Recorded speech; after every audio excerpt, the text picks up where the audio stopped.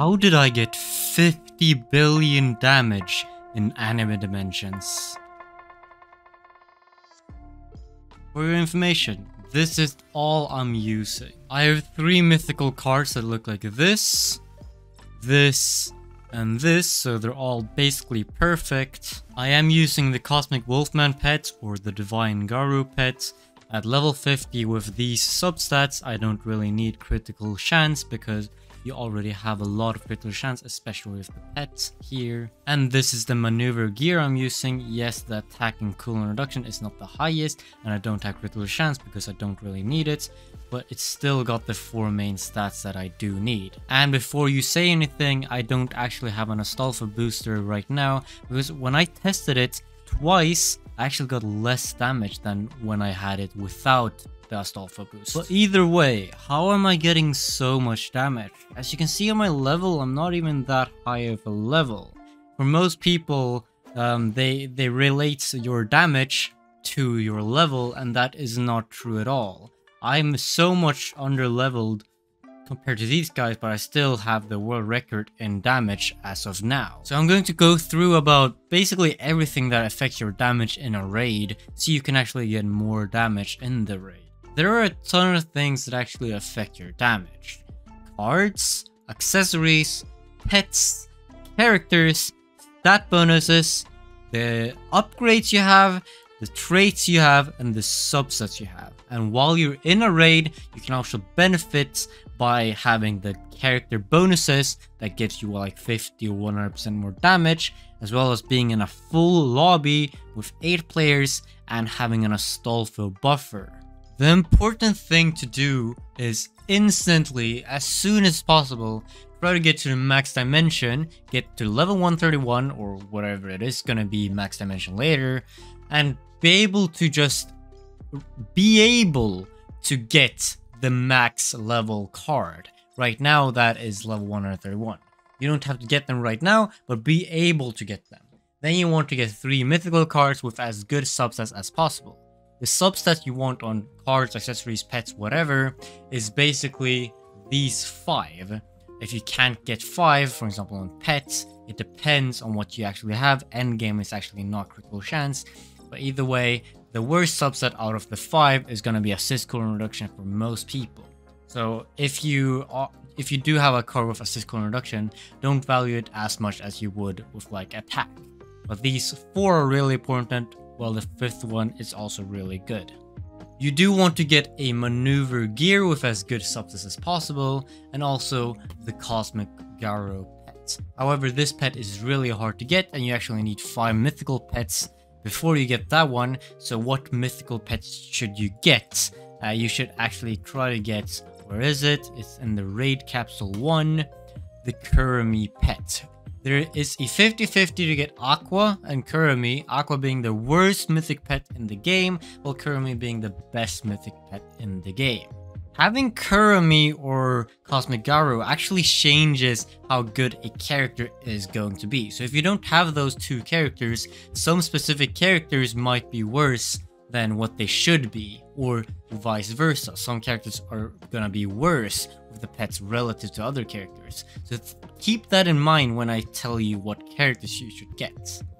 If you're watching right now, you can actually get the raid characters for 23 days still. Everyone except for Witch Mega Man. I'm gonna make a video on who you should get um, as a main, as an assist, just in general, who you should try to get. So you can watch that one in like a day or two. However, you need to know what characters you should buy and for what use. If a character is a good main, if a character is a good assist, or whatever. I can tell you right away, Dio is going to be the first character you want to get because he is good with and without a good pet. Then you also want to have good assists. Currently the best two assists in the game are Cosmic Wolfman or Cosmic Garou with the Awakening and Kirito Awakening. Thing is, I'm using Tatsumaki as well because of uh, another thing that in raids, you actually have a character boost. If there is one, try to use that character to get more damage if you just want more damage, if that is your primary goal. And don't forget to actually play in a full raid, it does not hurt you at all. If you just want rewards, if you just want damage, play in a full raid, it just gives you free damage. The most difficult way to get more damage is the stat bonus and collection. These you can do quite quickly, but the collection, the stat po uh, the stat points, you need 250,000 to get the best, the last one that actually gives you more damage, and you want that one. You really want that one because it actually gives you a lot more damage just in general. Then don't forget the traits, partner and assist, celestial on the main, and that's basically everything you have to do to get max damage as possible. The one thing that people mistake to get more damage, they focus on one of these things. And after they get one of them, they say, oh, I only got like 10% more damage. Why am I not good enough even though I have the best of this? Even though I have the best character, I'm not getting near 50 billion damage. That's because you have to do all of these things. If you have trash of everything but really good cards, you're not gonna get so much damage. If you have no cards but good of the other things, you're not gonna get anything. So try to get everything of these. Cards, really important. You have three of them as well. Pets, really important. Accessory, really important. Characters, this is what most people prioritize, but you don't actually have to. Sure, the character is gonna be really good, might become might be twice as good as the other character you're using, but it's not that big of a difference.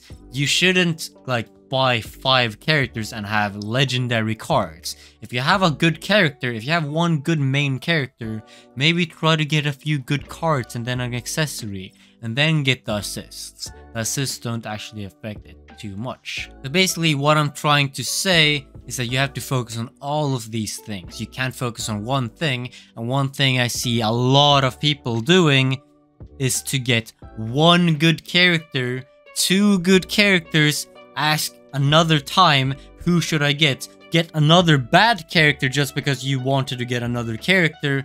It makes no sense. Try to get a balance of everything you need. Cards, accessories, pets, characters, and just buying costumes and other gem characters to get the stat points, doing dimensions to get the upgrades, everything.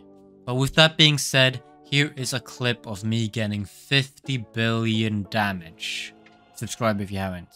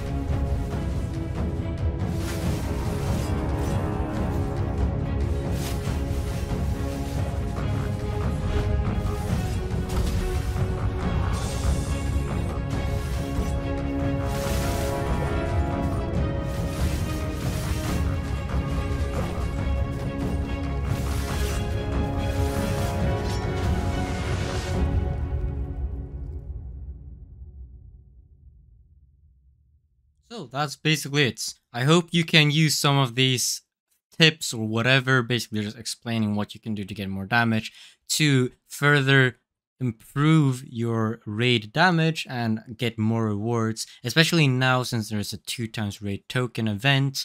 Utilize it as much as possible. So I hope you enjoyed this video, subscribe, and see you in the next one.